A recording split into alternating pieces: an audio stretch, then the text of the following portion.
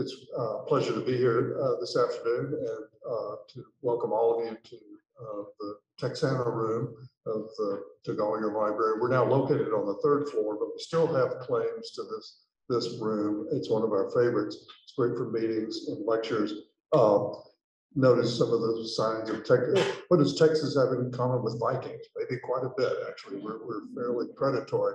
Uh, this is the largest uh, known map of Dallas. Uh, and uh, Bonnie was asking me earlier, where is SMU? Well, we're, we are off the map, uh, but we're about where, if you see where 1891 is, and then there's a, a diagonal lines below, that's the Houston and Texas Central and the uh, Katy Railroad crossing.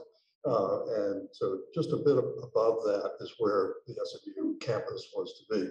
And then around the room, you'll see some replicas of Texas flags. And then beaming down upon us is Sam Houston himself with a, an overlooking his shoulder is a portrait of Andrew Jackson. And uh, so uh, Houston. And then around the, uh, the, on the shelves, it's a new ac uh, acquisition for us.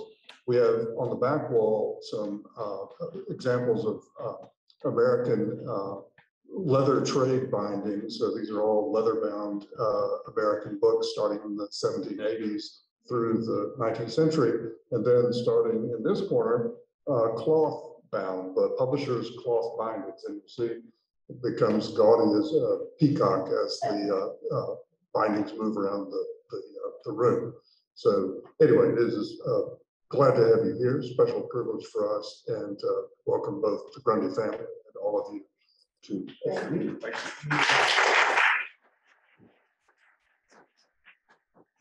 And since we're sort of double, triple, quadruple, whatever it is, by a hundred uh, privilege this afternoon, uh, it's a great pleasure for me to introduce the person who's going to introduce our speaker, uh, and that is Dorsey Armstrong, who's chair of the English department. Oh, wait, just a second before we begin that.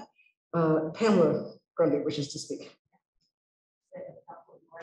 Pamela, who is the sister of Stephan, the person who really took charge of organizing this event. Thank you. Oh,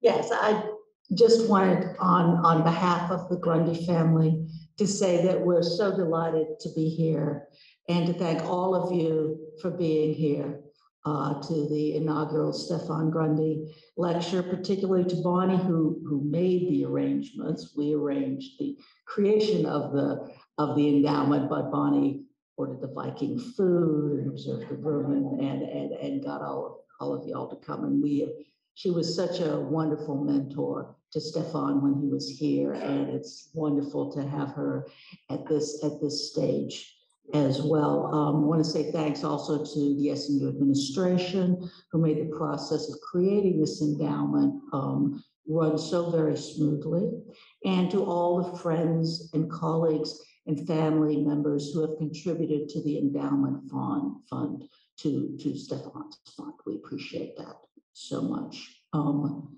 my brother's passing was, of course, a great shock to all of us. He was just 54.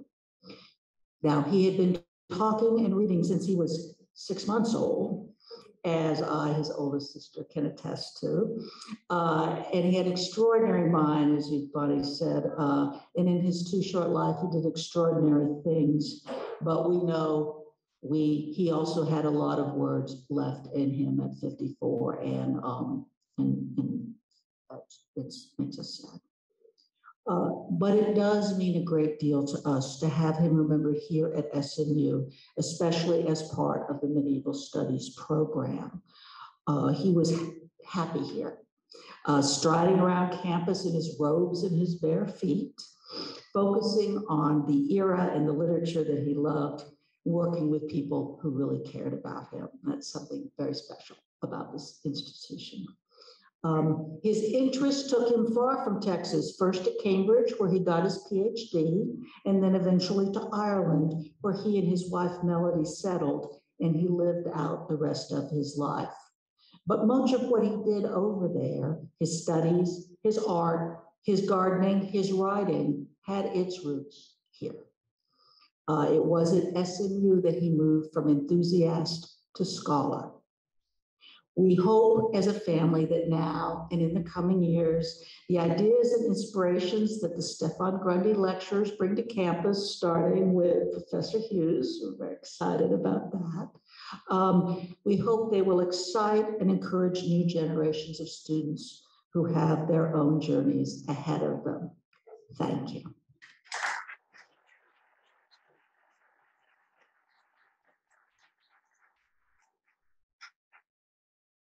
Has Bill Swifter on? Uh, we have a few people who are gonna be here today. Is, there- is anybody else here who remembers Stephan as a student? Ah, Joe, can you say a couple of words about Stephan as a student, as somebody, or how you knew him? This is Joe Goying, professor of English. Um, he and I were students together, I was a graduate student. Um, he was, he was very much a character, he was charming, he looks very much like his sister. And, uh, uh, we were not close friends, but we had classes together. And it was very, it was very much fun, uh, discussing the things that, uh, came up in those classes and his take on it and, uh, how enthusiastic, I mean, he had all this, he had all the makings when I knew him, uh, of a scholar. And, I actually have, uh, Rheingold at home. So, I, and I bought it when it first came out. So, uh, I'm very, uh, happy to see that he's having this picture. It's all right. Thank you. His, his, yes, thank you. His sister encapsulated the Stephan meeting. By the way, several of you here are, are veterans or soon to be veterans of the pilgrimage course. Raise your hands if you, if you are. Yes, I see. Hand up higher. Uh, that's it. Uh, enthusiast. Uh, and Stephan was one of the earliest, uh, members of that, of that course when we first had it. It was wonderful that you are now taking a course and think about your future lives as scholars and, and writers. That'll be the next thing I'm going to be asking of each of you. When he was an undergraduate, it was fascinating to see his development as someone thinking about Viking and Northern literatures, because he was always involved in myth and, uh, and the relations between myth and history. He didn't confuse them. Uh, he was very clear about uh, the things that were that you could demonstrate in scholarly level and things that you had to impute, things you had to uh, learn how to develop out of an imagination uh, that you could see live uh, in ancient times, but not expressed in, uh, in the language that we are accustomed to thinking about things in, in scholarship. He was extraordinary and uh, he had all the scholarly knowledge that you could ask for. At the same time, he had this fabulous imagination. And we'll be talking about that in a few minutes, I think. Uh, all of his books, and we're going to be collecting all the ones we don't have, uh, will be in this library as part of the DeGolyer collection is something that we'll be able to hold on to forever. Uh, so I thank you all for being here. And I'm going to ask Dorsey Armstrong, who is the editor of this wonderful journal called Arthuriana, uh, for which some of you have been uh, victim gnomes, as we call our helpers, uh, in the past and, uh, and who is also the chair of the English department. Many of you may have seen uh, various things called the Great Courses, uh, anything on uh, by the, is it still called the teaching company? Uh, the Great Courses, huh? One three keeps rebranding. Wondrium. Uh, and, and, and she's one of the most famous lecturers uh, in that, in that great uh, series. And uh, so many of you may have seen her do things on Arthurian literature, even on, you don't do Vikings, Black Death. Black Death, that'll get you. Uh, okay, so we've been talking about Black Death today in the pilgrimage course, so uh, keep considering all the ways in which you can continue to enjoy the Middle Ages in the middle of a pandemic. Uh, here is Dorsey Armstrong to tell us about her colleague, Shaun Hughes.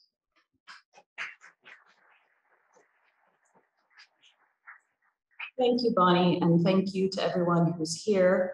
And having heard all these tributes to Stephan, I can't imagine a better person to be giving the inaugural lecture in the series. My senior colleague, Shaun Hughes, um, is an expert in all things Icelandic, Old Norse, Viking, Tolkien, uh, and usually when he is introduced, somebody thinks that they will make a, a joke and say, Shaun has forgotten more things than any of us will ever know. But that would be incorrect because as we all realize as we start to say that, he hasn't forgotten anything ever.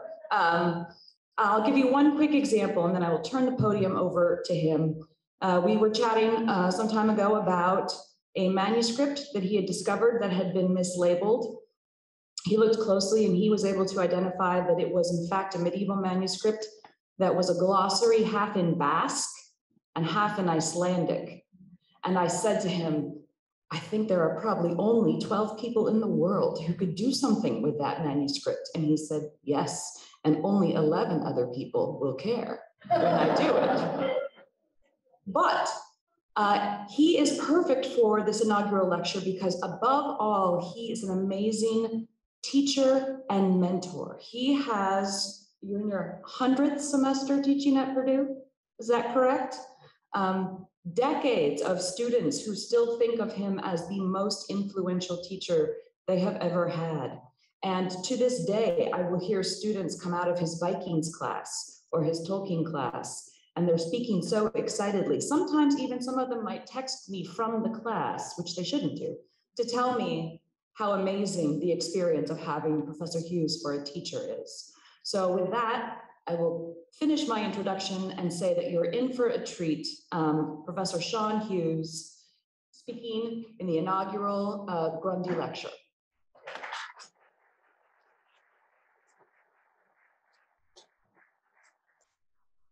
Thank you very much, uh, Dory, for that kind introduction. I must confess I shamefully stole this from the website.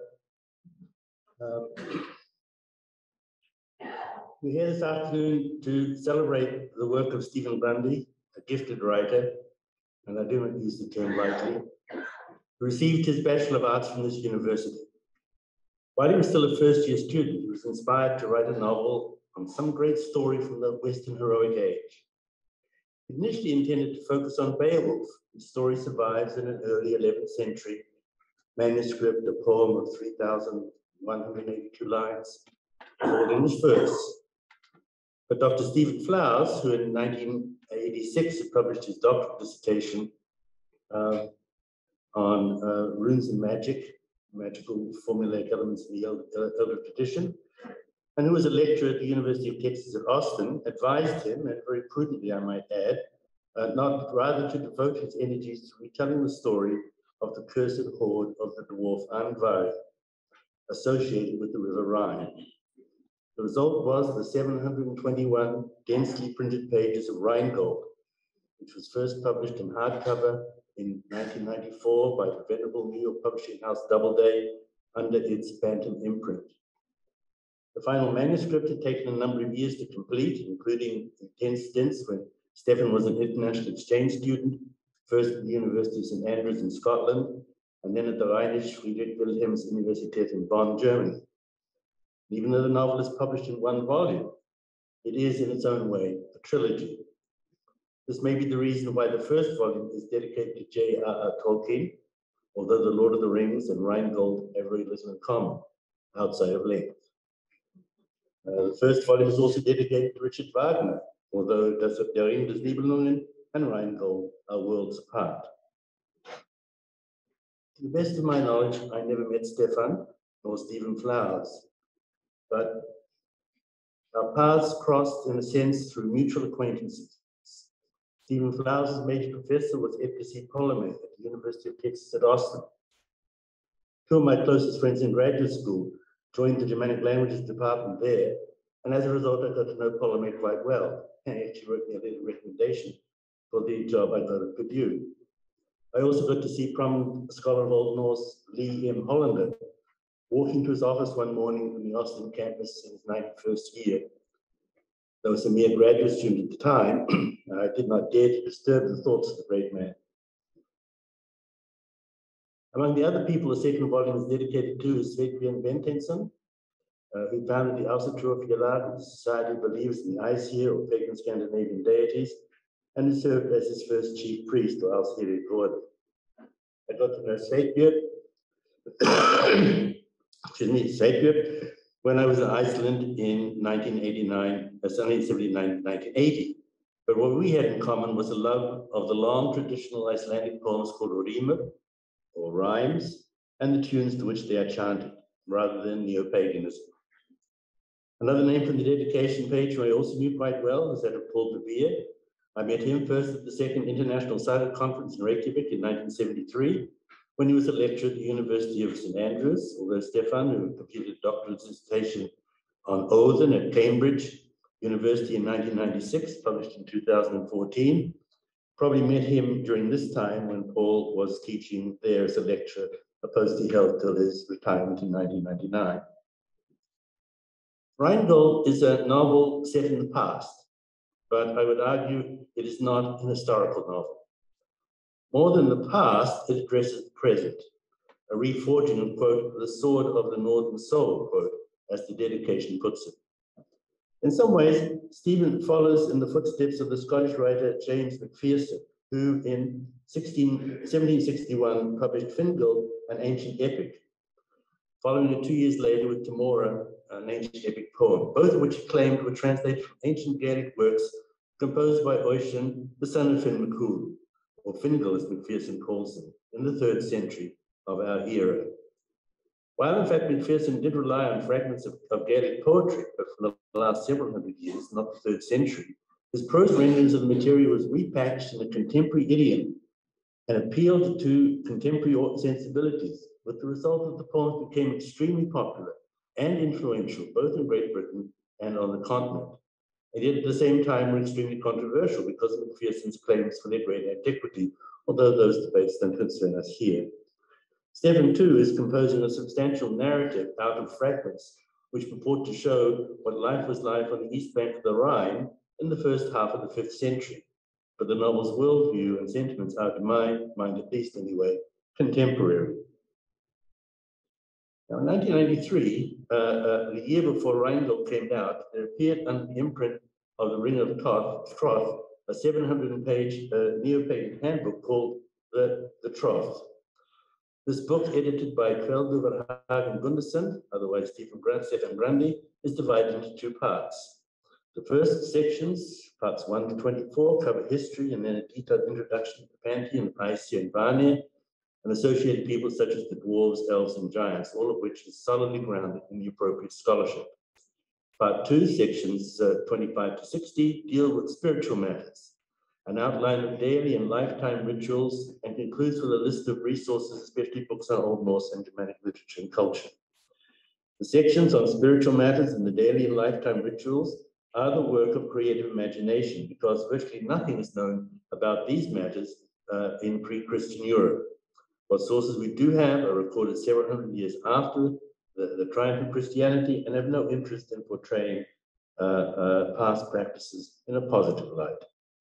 However, it, exactly, it is exactly these aspects uh, of Rheingold and likewise Stephen Grundy's Beowulf, the descriptions of the daily and seasonal rituals, the rituals of birth, marriage, and death that contribute to the novel's extraordinary power.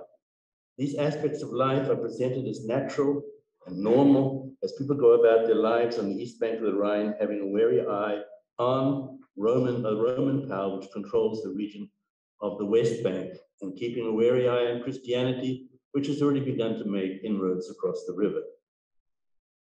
Macpherson had only snatches of poetry to work with. Stephan at least was able to uh, uh, engage two complete narratives with which he felt comfortable.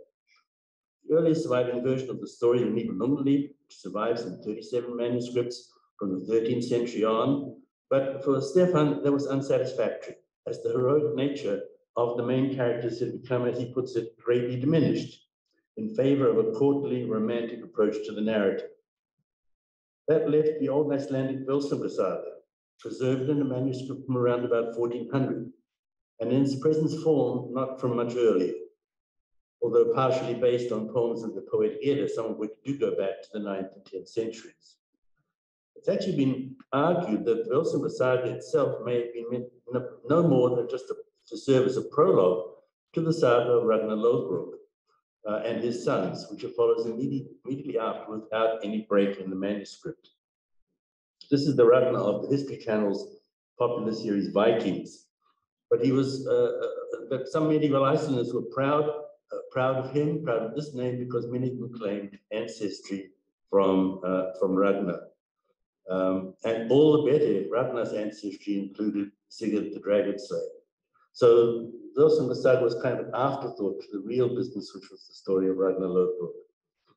Anyway, um, there's also an epitome of the most important episodes in the story found in the Prose Edda of Snorri Sturluson, who died in 1241. Now, neither of these sources are anywhere near to being contemporary to the events they purport to describe. And over the generations, the narrative has been embellished with considerable amount of extraneous material. But Stephan resists any temptation to create an original or authentic narrative, but instead follows the source material closely, even when it's been anachronistic, differing from it only in the order in which he presents events. The main outlines of the story are well known and have been retold on numerous occasions. But Stephan makes his version compelling by a skillful use of the technique of cognitive estrangement.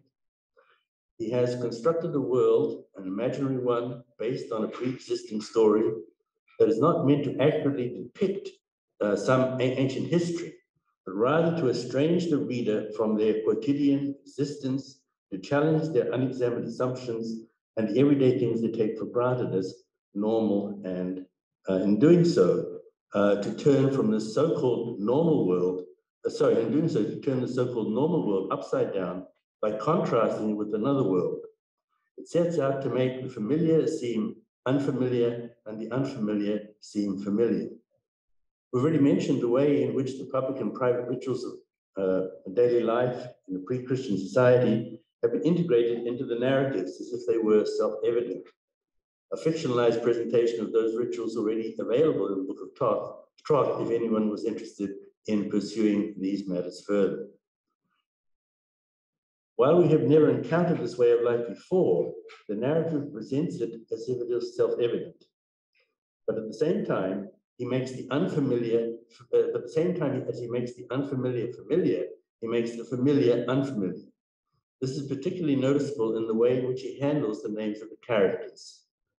So while some names remain unchanged and uh, changed and familiar, like Attila, uh, Sigurd's horse Grani, uh, his mother-in-law Grimhild, and various others, some of the most important names look very different. Gundahari for Gunnar, Sigifrith for Sigurd, Sigigaira for Sigurd.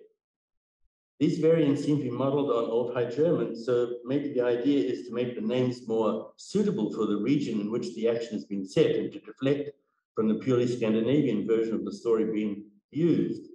But it's also a kind of verfremdungs effect, which prevents the reader from getting too comfortable with the text because it's not clear if this Sigifrid is going to behave in exactly the same way as the Sigurd the reader is used to. As I mentioned earlier, the novel is in effect divided into three volumes.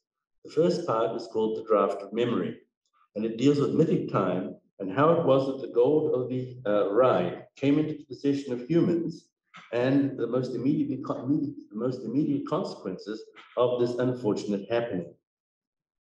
The divinities Woden, Heinir, and Loki are walking in the world.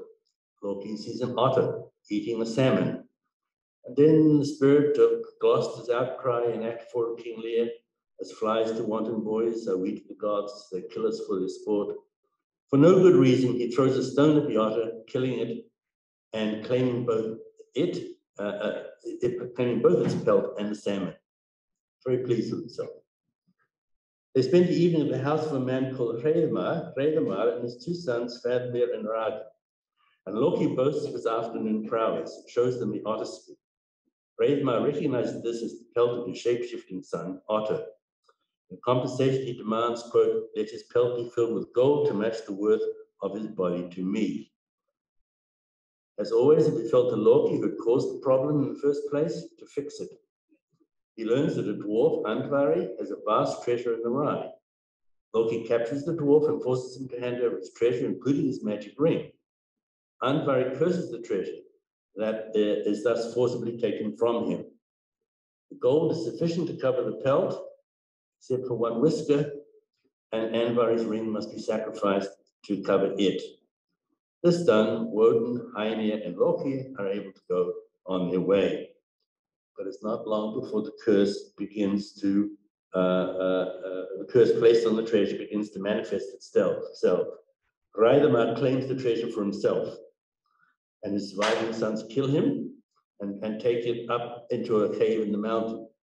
Then Father Mir, the eldest son, eldest son refuses to share the treasure with his younger brother and guards the gold with such intensity that he turns into a dragon. Ragan apprentices himself to a dwarf smith and learns the craft, turning into a dwarf himself as the generations roll on. And he never gives up the hope that uh, the gold will one day be his. Five generations later, Ragan finds himself tutor to his elder sister's great, great, great grandson, whose name is Sigifrid.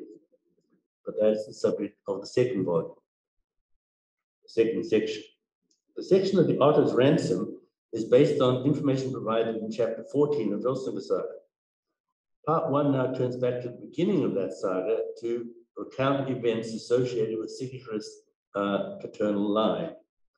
This part of the story has obviously gone through many uh, uh, renderings, but I just want to point out two segments which are obviously not part of the original story, even if we could determine what that original story was.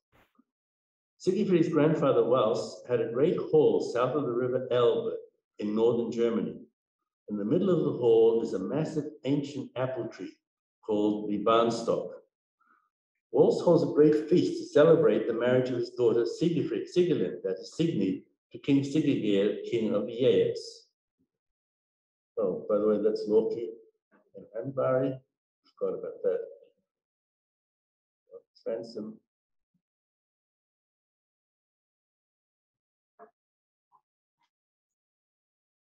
During the festivities, a tall barefooted man with one eye wearing a mottled blue cloak comes into the hall and stabs a great sword into the trunk of Barnstock.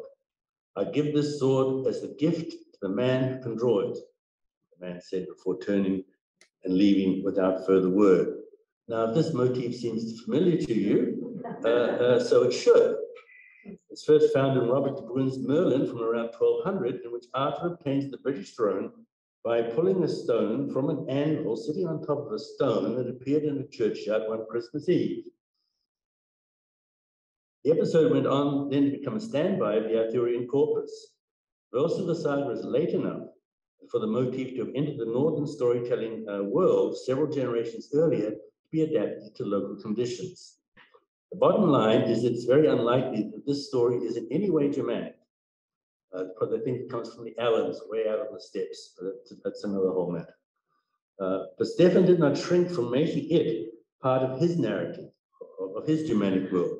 And, and it's important because King Sigurgeir tries to draw the sword and fails.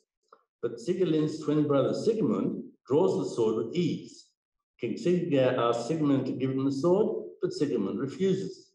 And Sigurgeir leaves the feast abruptly. The next day, consequence of all this is that Sigurgeir uh, seeks revenge for this perceived slight and manages to kill King Vals and eight of his nine sons. Only Sigmund escapes, and Sigurd, he and Sigurd plot how they will be able to avenge the death of their father and siblings.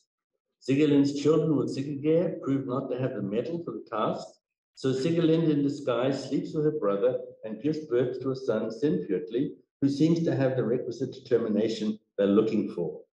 As, as part of a toughening up procedure, Sigmund takes Sinfjotli to the woods where they roam as werewolves. One day, in a fit of annoyance, that's something the young man had done. Sigmund bites Sinfjotli badly in the windpipe. And we saw uh, the Northman yesterday, and there's a connoisseurs of such things. There's a very fine windpipe, windpipe biting sequence in that movie. um, so anyway, so Sinfjotli lies badly wounded for several days. Sigmund is in despair. One day he sees two weasels. As he watches them, one bites the other in the throat. Then it scurries away and comes back after some time with a leaf in its mouth. It places the leaf on its companion's throat, and the wounded weasel immediately is cured, and the animals run off together. A raven brings Sigmund a leaf just like the one the weasel has, and with this, Sigmund is able to cure the young man, and they, bear, and they burn their wolf skins. Now let's go back to the Anglo-Norman poem Eliduc, composed by Marie de France, late in the 12th century. Eliduc, after a period of exile, returns to his wife, Gwilde Gwildeluec. He soon she soon realizes that his mind is elsewhere and follows one day as he's visiting a chapel in which the body of uh, Guiliadon, the woman he's been living with in exile, lies. Seeing the body of this young woman, uh, Guideluc understands immediately the situation and mourns the young woman. Two female weasels run into the chapel. When Guideluc's servant kills one of them, the other one runs out into the forest to find a magical flower that it brings back and places on the dead animal, which springs back to life. Seeing this, Guideluc takes the flower from the weasel and uses it to be to heal Guieladon. The two women re- uh, reconcile, and uh, Guideluc becomes an abbess, freeing Eliduc of his marital bonds. Now, most of Marie's lays were translated into Old Norse in the middle of the 13th century. And while no Norse translation of Eliduc survives, the use of this motif of the weasels curing each other uh, uh, suggests or means that the story once circulated in the north. But again, it's not a Germanic motif. And I think that again is significant that Stephan chooses to keep it in his narrative as a part of his general strategy to keep close to the to the story of Völsunga saga in the belief that to do so will maximize the effect of the cognitive estrangement that he is aiming for. The remainder of part one deal with Sigurlind and Sigmund's bloody revenge, which Sigurd, uh, Sigurgeir, which results in the death of Sigurgeir, his two new sons, and also of Sigurlind, who despite everything chooses to die with her husband. We then follow the events leading to the death of Sinfjotli at the hand of Sigmund's first wife, Borghild, Sigmund's subsequent marriage to Herwardis, and then his death at the hands of King Lingwei, who had uh, earlier and unsuccessfully sought the hand of Herwardis. Not only does Sigmund leave his wife with child, but he leaves her the broken pieces of the sword he drew from Barnstock, giving instructions for it to be reforged for his son and for it to be given the name Gram. Part two, Sigifrid the Valsung, carries the story through Sigifrid's apprenticeship in the smithy of Ragan, his meeting with Gundahari, Hagen, and Gudrun, the children of, of uh, Gebika, and his, with his wife Grimhild, uh, who is also, so Grimhild is a great, great, great granddaughter of Lofenothite, who was the younger daughter of um, uh, uh. The idea being that on both his maternal and his paternal side is that uh, uh, is, descended from daughters of Hreidmar way back when. As Siegfried grows up, he obtains his horse Grani, fostered by no less a stallion than, uh, by no less a stallion than Woden's eight-legged Sleipnir. After a great deal of difficulty, the broken sword that belonged to Sigmund is reforged as Gram. Siegfried goes north to avenge his father's death on King Lingwei, along with Ragan and his forces. And on the way, uh, well, uh, here we go, Sig- Sigmund, Sinfjotli.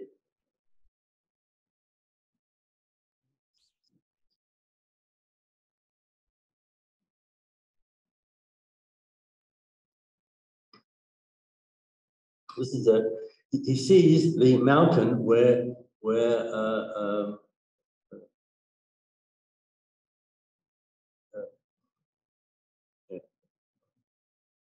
where, sorry, the, the mountain where Fadmir guards the treasure that was paid as out of Wergild. And this is the seventeenth century, this is Drachenfels, where supposedly was supposed to be, but well, I like this one because you can actually, um,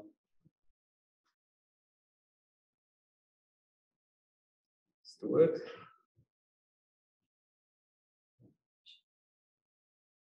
Doesn't work. All right. to it. But were quarries up there and so and it looks almost still as you can see where the dragon would come down to the water, okay? In, in modern, in modern pictures, you don't, you don't see that aspect of it. It's got trees and everything. Yeah, so, uh, um, so this is, this is traditionally where, where Fafnir was supposed to, uh, have hidden his treasure in, there were ancient Roman quarries at the top, so of the caves are, as far as that's concerned. Anyway, uh, all of that is, uh, um, uh, he see- he sees that. After the army returns victorious from having killed King Ingve, Ragan is finally ready to put in, into motion the plans he has been mulling over for so many generations. Siegfried manages to kill the dragon, but then inadvertently learns that Ragnar intends to kill him and have all the gold to himself. This he prevents by killing Ragnar and loading all the treasure onto Grani. He then goes to search for the woman Sigrifa, the Valkyrie asleep in her mountain lair, or at least that's what the birds had told him, who had warned him against Ragnar's treachery. He finds her and learns she had been placed there by Woden for choosing victory for the wrong man in a battle. When they part, he goes, she goes to her earthly body, which takes the form of the princess Brynhild, and Siegfried returns home, promising to seek the hand of Brynhild in marriage and that of nobody else. While the men in part one had been heroes and had great physical, uh, uh, uh, great physical specimens, they all pale in comparison to Siegfried. What I see here, and even more in Stephen Grundy's Beowulf, uh, uh, of course, the dragon killing.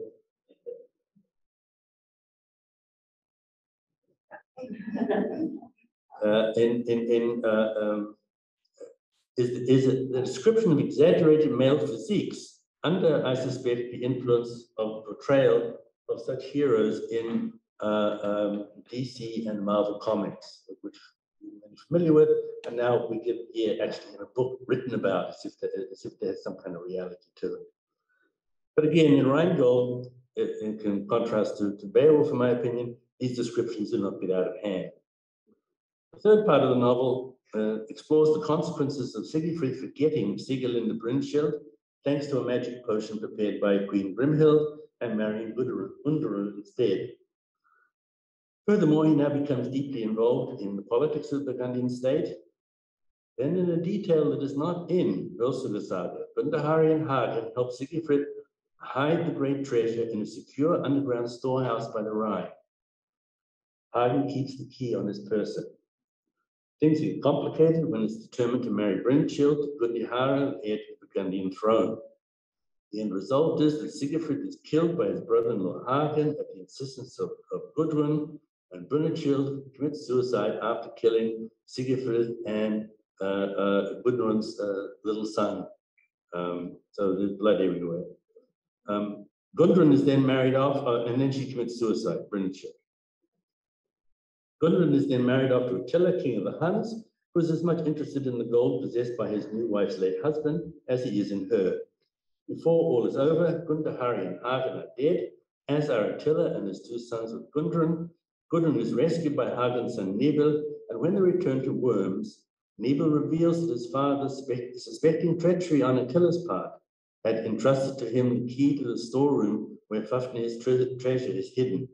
At night, he and Gudrun go to the storehouse and toss all the gold back into the Rhine where it had come from in the first place. And here the novel ends. This ending, which is not in Völsunga saga, is a brilliant move which gives the novel a thematic and moral unity which is not in the original source material. The Old English rune poem from the 8th or 9th century opens with the statement, Fair bith frovre, fear you wealth is comfort to everybody. But not all of the time was so sanguine.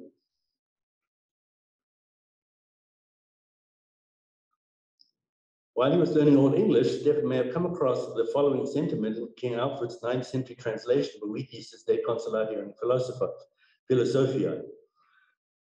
Ayala, what say for me yitzra wera, hey eris the earthen on gan delven of the gold, and the freknen de worth nissefunde, the air bith behid was and behillowed with their earthen.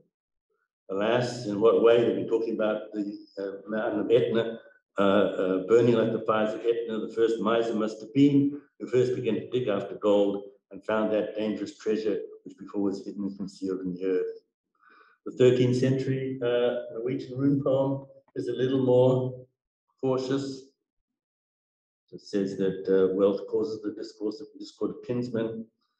The 15th century Icelandic rune poem, close in time to saga, is even more explicit, coming with the stanza, wealth and the fire of the sea that is gold, and the path of the serpent that's also gold, is the cause of discord among kinsmen. Rheingold exemplifies the wisdom of this statement, which in historical terms is probably another anachronism. but one which certainly contributes to giving the novel its modern feel. Anyway, I've scarcely touched on, scratched the surface of the richest concern in this extraordinary first novel, and I cannot praise too highly its writing and narrative deftness. It's a book I will take the time to read again. I noted that at the beginning of his writing career, Stephan had been very prudently advised not to base his first novel on the Old English poem Beowulf. In my academic career at Purdue, I have taught a graduate course on Beowulf in Old English some 14 times. In this course, this course involves reading the entire poem in the original, and so I think that I'm well aware of the many pitfalls any interpretation of the poem involves. 25 years after the publication of Rheingold, a novel of 572 pages appeared under the title, uh, under the Three Little Sisters imprint, uh, with the title, uh, sorry, and this is the edition I'm using, it appears to be an iUniverse edition from 2010, and maybe one even earlier than that. Uh, some, some of this bibliographic stuff I haven't quite got at the bottom of yet. Um, the 2010 edition is just, is just for Beowulf, but the one I'm responding to is called Stephen Grundy's Beowulf all right? As if Stephen were responding to controversies that his early edition of the novel may have stirred up. Now, I should say at the very outset, it is not Shaun Hughes's Beowulf, all right? But that's perhaps the way it should be. What I do want to do is to highlight some of the issues the poem raises, how Stephan addresses them, and where, in my opinion, solutions work and where they don't, keeping in mind that the poem is notorious for providing unnecessary information and for keeping silent when there are important things that we need to know. The first problem we face is what kind of poem is it? Uh, it has traditionally been described as an heroic, as an heroic epic, and this seems to be the approach Stephan favored. But if that's the case, it's a very peculiar hero, one who gets him killed at the end of the poem because of his own misjudgment. Not a tragic hero, but rather a, something of an incompetent one, giving the last part of the poem its elegiac tone as uh, J.R. Tolkien noted. The poem is punctuated by three fights involving Beowulf. First is against Grendel, whom he defeats with pure strength without use of weapons. The second is against Grendel's mother. She's weaker than her son, poem says so. But she is still able to throw Beowulf to the ground, sit on him, stab him, and if it wasn't for his coat of mail, she would have killed him. Now, luckily, he's able to see the sword hanging on the wall and take care of matters from there. Um, for the third time, he's tough for the fight against the dragon, uh, one that I would argue that Bale himself has provoked. Um, not only does he go to battle in full uniform, but he also employs a massive iron shield, all to no avail. So instead of going from a hero going from victory to victory, we have an early success that is repeated in a diminished manner before the final disaster occurs. If the poem had only stopped or been broken off after the victory uh, uh, with Grendel, uh, it'd be great. Right? and so, not surprisingly, that part of the poem of the, novel that, deals uh, up through Grendel uh, is the best part of the book. Stephan spends a great deal of energy imagining what it must be like for Beowulf as a young boy.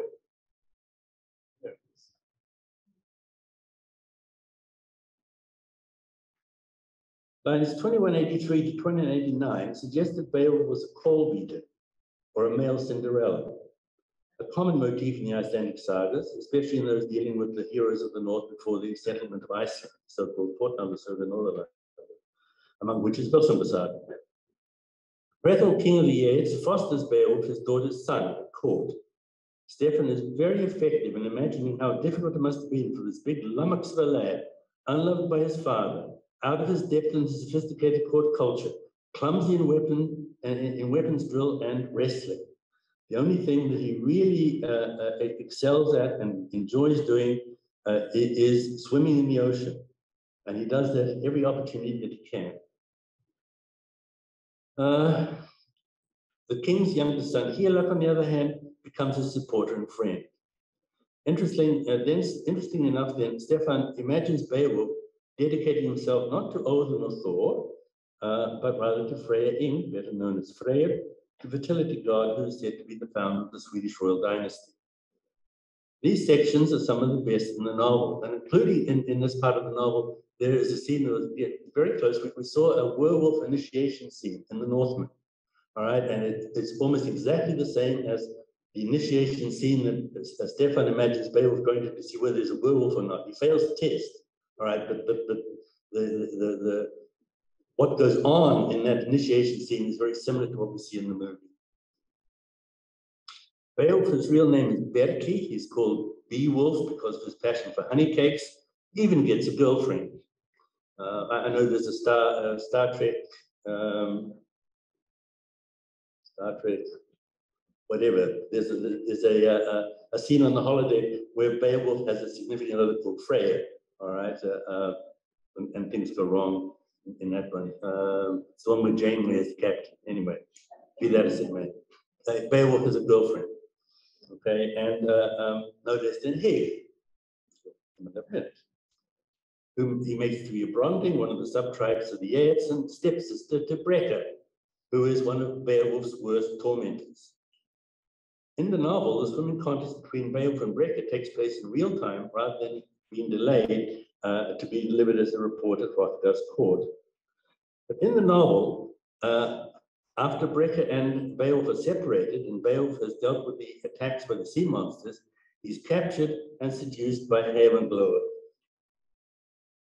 All right, who is one of the nine daughters of Ran, who is the goddess of the sea, and Aya is a giant who's also the god of the sea.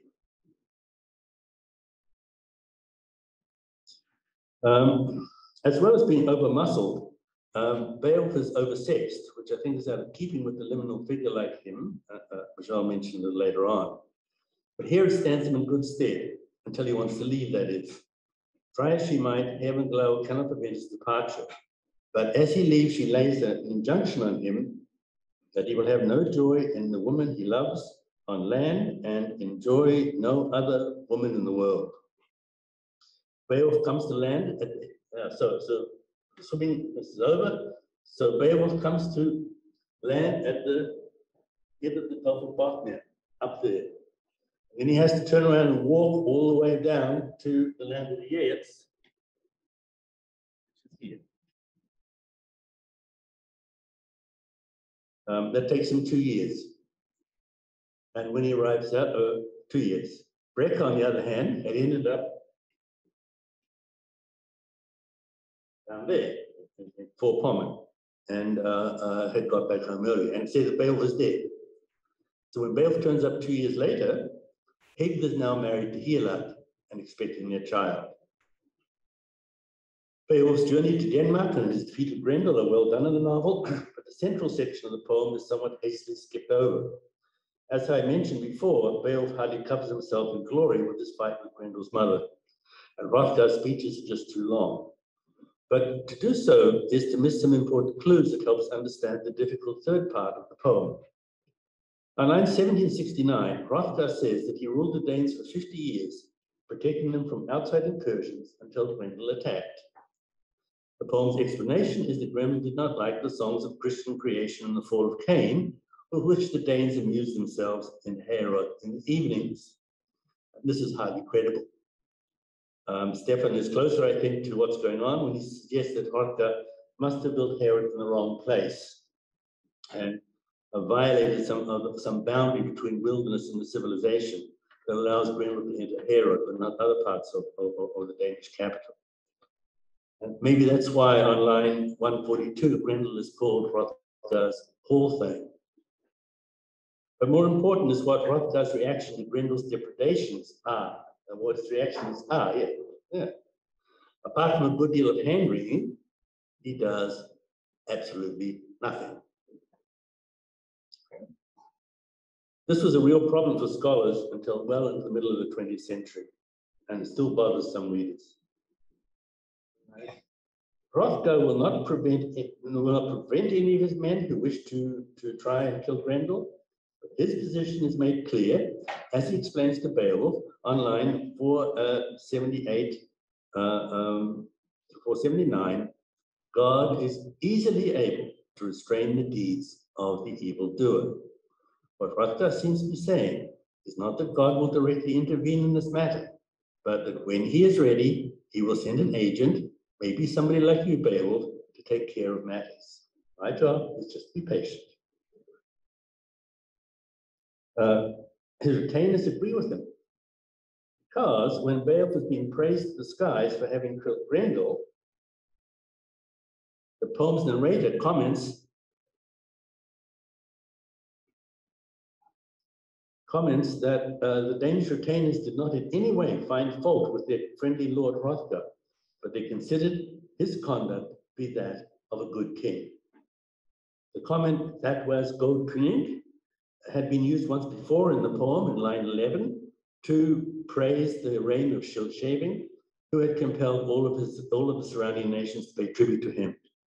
It will be used one more time in the poem, but not applied to Beowulf. Roughly the first half of the novel then is directed, devoted to events leading up to the battle with Grendel. Stephan ventures an interesting plot twist, but unfortunately he does very little with it because it seems to me an idea that has a lot of potential.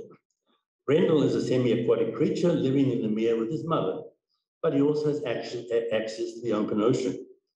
And there he encounters Heaven Glow, and he wants to have an affair with her. But she's not interested because she's still mourning for Beowulf, whom it appears has now largely lost his early interest in swimming. In the poem, lines 20, 2359 to 2363, Beowulf returns to Geatland from the disastrous adventure in Frisia, in which Hygelac is killed by swimming uh, uh, alone with 30 coats of mail. In the novel, he takes a boat. The second half of the novel deals with politics, or at least politics as defined by Karl von Clausewitz. War is simply the continuation of political intercourse with the addition of other means. The last part of the poem deals with ancient, an ancient treasure, a guardian dragon, stealing a cup from a hoard, the dragon's revenge, Beowulf's death, and the disastrous consequences of all this. All this. Scattered among the narrative are various enigmatic passages dealing with a long-standing conflict between the Geats and the Swedes. Stephan basically puts the dragon to one side and fleshes out the various stages of the conflict in exhaustive detail with help from some other sources like the Fortnalva saga, Rolf saga, Kraka. When Beowulf was still a young man at Hrethel's court, disaster strikes. Herebeald, Hrethel's eldest son, is killed in a hunting accident by his younger brother Hæthcyn. Hrethel dies of grief, and it appears the Swedes, sensing an opportunity, begin to attack Geatish territory. In revenge, the Geats attack Uppsala and capture King Angelthail's queen. The Swedes overtake the Geats at a place called Ravenswood, kill Hæthcyn, and rescue the queen. The Geats, under the new King Hygelac, counterattack and Angelthail is killed. His son, Othra, becomes king and things quieten down for a while. Then Hygelac gets himself killed in Frisia uh, Beowulf refuses his office, uh, offer of the throne, pledging himself to support Hygelac's young son, Heardred, as king. Something happens in Sweden. Onela, Othra's brother, becomes king. It is not clear what happens to Othra, but so far as the Beowulf poet is concerned, the transfer of power is legitimate. And Othra's two sons, Eanmund and Eadgils, are referred are the rebels who cause trouble. So here we here we've got Geats, Danes, Swedes.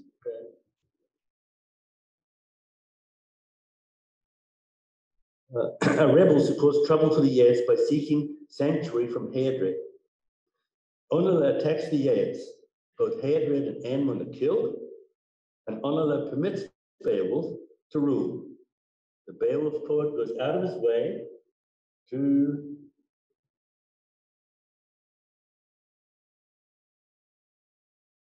rule on the best of kings of Sweden.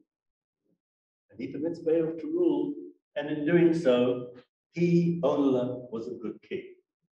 Not Beowulf, Onela is a good king.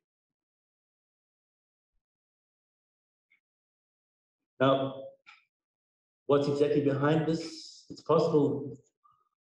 It's possible because this we have to put we have put in a word that doesn't exist in the manuscript. It's possible that uh, is Hrothgar's brother-in-law. Right? So be that as it may. Um, however, at some later date, Eadgils with the help of the Geats, and that presumably means Beowulf, overthrows Onela to presumably become king. It doesn't say anything. Then the poem says nothing more for the next about the next 50 years, during which Beowulf is king. But the end of the poem, people are clearly afraid that the Swedes are coming and in force and soon. Stephan will have none of this. Onel is a tyrant and a usurper, and Beowulf becomes king of the Geats without permission from anybody. And numerous new characters are introduced, and the heroic Geats push back the Swedes to enjoy a long time of peace under King Beowulf. Then a thief takes at the dragon's hoard. Beowulf fights the dragon and dies an heroic death. As in, uh, as in the poem, this is entire. As in the poem, this this instance is entirely unmotivated. All right, um, but this dragon business has to be dealt with somehow. Right. Anyway, he dies a heroic death. Wiglaf takes over as king and prepares an heroic defense of Geatland against the overweening Swedes. End of novel. the whole episode with the dragon in the novel appears to me anyway rushed, as if the author was embarrassed that this was something he had to deal with. Not so the poem, but the poem leaves far too many questions unanswered and unaddressed. Why is the treasure enchanted? It says so in line 3052. Who is the dragon? Is he a human being? Some kind of fafnir? What exactly is Beowulf's role in the plundering of the hoard? It's clear he's had his eyes on it. Why is it that the first thing the dragon does after missing the cup is come out and burn Beowulf's hall to the ground? And let us not forget what happened earlier in the poem. After ruling for 50 years, Hrothgar does something that, that evokes the rage of Grendel. What does he do? Nothing. He waits for God to deal with it, and then uh, as and when he sees fit. After ruling 50 years, Beowulf appears to do something, in my opinion, to evoke the rage of the dragon. What does he do about it? He races out to, feast, to face the creature in full armor with a gigantic iron shield, none of which does him any good, and he is promptly killed. Hrothgar was a good king. He received tribute from the neighboring kingdoms and ended and attended the future by engendering an heir and a spare. Beowulf seems to have kept the neighboring kingdoms at bay, but there's no indication they pay him tribute. Also, his apparent role in the overthrowing the Swedish king by whose grace he came to rule is perhaps accommodated by his saying, uh, I, for my part, um, did not swear many oaths unjustly. Right, I did not swear any oaths, fair, many oaths. And so one of the oaths he must have sworn unjustly was when he turned against Onan, but simple. And then Beowulf realizes that he doesn't have a son. Excuse me, Beowulf, what have you been doing for the last 50 years? Huh? And even if you cannot have a son of your own, there's always fosterage and adoption. Stephan accounts for this lapse as being the result of, of Havenglau's curse. Plus, he, was, he once crushed a woman to death in Frisia while making love to her. And then there are delicate feelings for him. He never stops loving her, but refused to allow his divorce Hygelac when he returns back from Finnmark, nor would he marry her after the death of Hygelac in his own mind to protect her. I'm sorry, but shades of a Harlequin melodrama are not very satisfactory in my mind. It's more likely that his role as a liminal character who can move with ease between this world and the next comes with a certain cost in terms of a lack of potency and shrunken genitals, like a bodybuilder on anabolic steroids. This is certainly the case for Grettir Ásmundarson, who is a 13th century reflex of the Beowulf figure, and I would suggest the lack of children points to something similar being the case for Beowulf as well. That still doesn't explain why he doesn't take a foster son. Then there's his role in awakening the dragon. Apparently everybody knows about the treasure and that it is enchanted and it can only be released by God. But Beowulf refuses to be dissuaded. As Wiglaf grimly reports, a high price has to be paid for his stubbornness.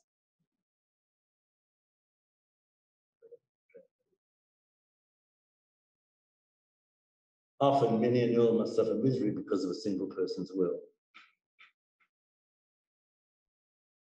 Grimly reports a high price had to be paid for stubbornness. And in one of his dying speeches, Beowulf praises God for he's been able to leave behind such a treasure with which to enrich his people. And what does grateful people do immediately upon Beowulf's death? They rebury the treasure in the ground so that it remains till this day in the earth as useless as it was before. Stephan had seen in Völsunga saga the theme of the corrosive lure of riches, that the corrosive lure of riches was a theme upon which he constructed his novel while remaining close to his source materials. That there is a similar theme in the last part of the film Beowulf is something he chose to overlook. Also, he does not seem to be comfortable with the element of fatalistic acquiescence, which the author of Beowulf finds so praiseworthy in Hrothgar and lacking in Beowulf. He wants to present the modern world with the portrait of an ancient northern warrior hero that is more in line with the sentiment at the end of Tennyson's poem Ulysses, first published in uh, 1842. We are not now that strength which in old days moved earth and heaven. That which we are, we are. Equal temper of heroic hearts, made weak by time and fate, but strong in will to strive, to seek, to find, and not to yield. However, in order to achieve this, he has to tell the story in such a way that he contradicts the source material, and this I do not find very helpful, as it simplifies and obscures the, com the complexities of the poem. And there may be something to the story of Beowulf as an indifferent or negligent uh, ruler. We don't find out, for example, why Beowulf thinks his people are so desperate in need of a capital infusion of gold. There are three. That's, but this gold for my people. People say, forget it.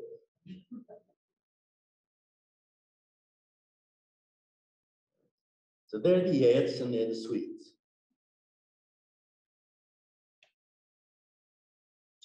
There are three, oh, let's go back here. There are three major peoples named in the poem Beowulf. The Danes, yeah, I can find Denmark, still on the map. The Swedes, Sweden too is no problem. Geats, never heard of them. Can't find them on the map. More research will show that the name, that, that the name does remain actually in the two Swedish provinces of uh, uh, Västergötland and Östergötland. More is the historical evidence is more difficult to interpret, but some argue that the demise of the Geats as an independent people took place between the 5th and the 9th century, sort of in the time Beowulf was set. Although the awareness of being a Geat lasted much longer. Also interesting is the fact that the Geats were much more actively Christian than the Swedes, where large segments of the population held out against conversion until the 12th century. So Stephan Grundy's Beowulf version of Beowulf is not Shaun Hughes' version of Beowulf. That doesn't mean it cannot be read and enjoyed. In fact, some of the suggested answers to questions left open in the poem are positively ingenious and thought-provoking. For example, a considerable amount of space is given to a backstory on Hrothgar's wife, Wealhtheow. And I like the suggestion that Beowulf was in love and betrothed to Hygd. This is right up there with uh, Neil Gaiman's screenplay the 2006 uh, movie Beowulf, which presents Grendel as Hrothgar's son and makes the dragon uh, Beowulf's son by Grendel's mother. Uh, although the act has uh, rendered Beowulf sterile subsequently uh, with earthly women, uh, and he has no children, even though he has a wife and a mistress. So I introduced Stephan Grundy at the beginning of this lecture as a gifted writer. He is that more, a master storyteller as well, and even though I've not always agreed with the narrative decisions he made, particularly in Stephan Grundy's Beowulf, that does make them any the less provocative and challenging, nor the novel any the less worth reading. And there are other novels in addition. Attila's Treasure from 1996 delves deeper into the character of Hagen. Gilgamesh, 1999, tells the story of the ancient Mesopotamian demigod. The trilogy he wrote with his wife Melodi Lamond, Falcon's Flight, Eagle and Falcon, and Falcon's Night, available in print only in German translation and in English as an ebook uh, Beowulf, whenever that is written, and most recently Valkyrie, in which a neo-pagan rock star deals with unrequited love and business, unfinished business from a previous existence.